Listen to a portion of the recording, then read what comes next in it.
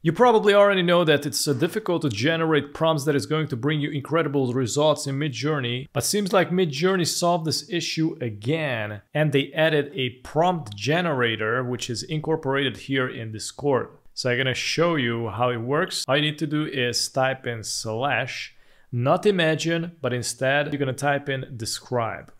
And we're gonna work with this. You're gonna type in enter, and as you can see, it's gonna show up an uploader here. So all you need to do is drag and drop the image, and that eventually is gonna generate you the prompt. So I'm gonna, for example, drag and drop this image in here, enter, wait for a sec, and check this out, we got four type of description. We got the first, second, third, and fourth. Pink ball with horns and head in style of Unreal Engine, cartoonish character, ZBrush, blocky, grotesque character group. And check this out, here we got like four buttons also, so you can generate. I'm gonna go with the first and submit.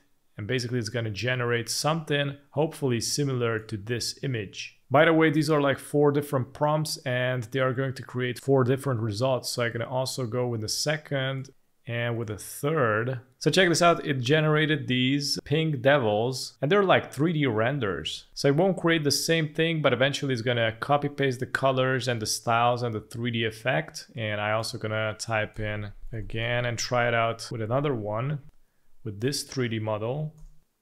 And I'm gonna generate again, see what happens. I'm also going to try out a realistic model. And I'm going to go with this.